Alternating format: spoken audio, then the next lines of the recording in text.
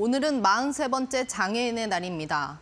장애인의 재활 의욕을 고취하고 복지 증진의 계기를 마련하기 위해 제정한 날인데요. 이들의 건강한 자립을 위해 이동 편의성을 확대하고 경제적 활동을 지원하는 사회적 기업들이 있습니다. 보도에 이지은 기자입니다. 현이치에서 우측 횡단보도 2호 10m입니다. 잠시 후 좌측으로 37m입니다. 시각 장애인인 이도건 씨가 내비게이션 안내에 따라 걸음을 내딛습니다. 해당 서비스는 엘비에스테크의 모바일 도보 내비게이션 GI 플러스. 사용자가 카메라 버튼을 누르고 반바퀴 돌리면 1m 오차로 위치 측정이 가능합니다. 건물 정보와 보행로 분석은 어플 로드 스캐너를 통해 수집하고 사인 정보는 GI 플러스에 반영됩니다.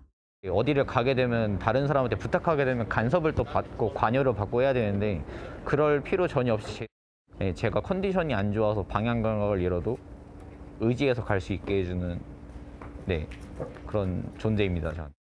보건복지부에 따르면 국내 등록 장애인 수는 265만여 명, 전체 인구의 5.2%를 차지합니다.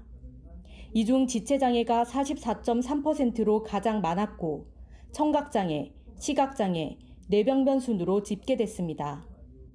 선천적으로, 후천적으로, 또 전맹 저시력, 시야, 시각 이 엄청나게 다양한 그 장애물들 만나다 보니까 요청들이 조금 다 다르세요. 그래서 그 공통의 분모를 찾아낸다는 게 쉽지는 않기도 하고 스마트폰을 사용하지 않는 이들이 많은 것도 어려운 과제입니다. 그래도 교통 약자들의 이동권 향상을 위해 서비스 지역 확대에 속도를 내고 있습니다. 행동 반경이 넓어짐으로 인해서 우리 사회 전반적으로 어떤 그 즐거운 소비 또는 뭐 행복한 소비, 긍정적인 소비가 확대될 거라고 생각합니다. 청각 장애인을 택시 기사로 고용하는 사회적 모빌리티 기업 고요한 M입니다. 어플로 택시를 호출하자 몇 분이 채 안 돼 차가 도착했습니다. 안녕하십니까? 청각 장애인 기사님이 운행하는 택시입니다. 차량 조수석 뒷자리에 부착된 태블릿 PC로 메시지를 주고받으며 운전자와 소통할 수 있습니다. 국내 장애인 고용률은 2021년 기준 34.6%, 장애인 10명 중 3명만 고용된 셈입니다. 반면 고요한 M을 운영하는 코엑터스의 장애인 고용률은 50%가 넘습니다. 청각 장애를 앓고 있다 보니까 음, 사회적으로 활동을 하고 싶었고 한번 운행을 하고 싶다는 생각을 많이 가지고 있었었어요. 근데 즐거워요. 재미있고요. 행복합니다. 하지만 일각에서는 장애인이 운전한다는 이유로 안정성에 대한 우려도 나옵니다.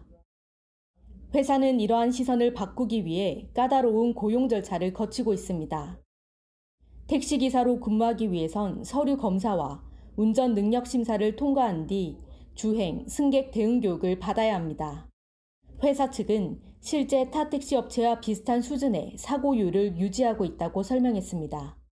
장애인분들도 어, 보다 더 낮은 사고율로 이렇게 근무를 할 수 있는 그런 환경들을 저희 구축을 하고 있고 장애인이라서 이게 안전하지 않다 뭐 이렇게 생각하는 부분은 결국 어, 계속 경험해보고 이게 괜찮다라고 이제 느끼게 하는 이런 방법밖에 일단 좀 없을 것 같습니다. 코엑터스는 취업 저변을 넓히고 장애인 일자리 창출에 힘쓸 계획입니다. 이델리 TV 이지은입니다.